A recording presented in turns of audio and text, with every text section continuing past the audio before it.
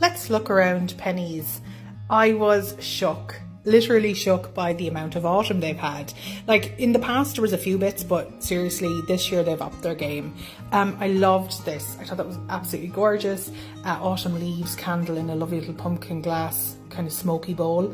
Um, so that was cute, seven quid. This is a tall pumpkin again. Now that was a fairly bland candle, but gorgeous little pot that it's in as well um, for seven euros.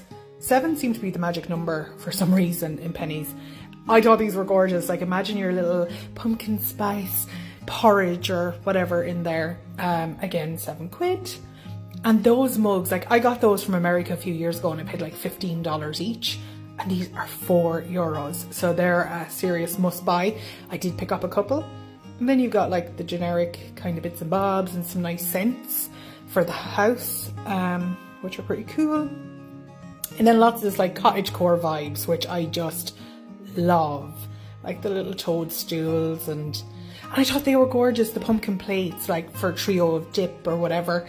Um, and those pumpkin, ca pumpkin candles, unscented, right? But like great for ambience, down to a quid, just one euro each. And these little um, bowls, which are great for charcuterie boards, and we all know I love a charcuterie board, um, for four quid, so I picked them up myself those wreaths are very impressive for 16 euros. I was, yeah. And this little guy came home with me because he's too adorable.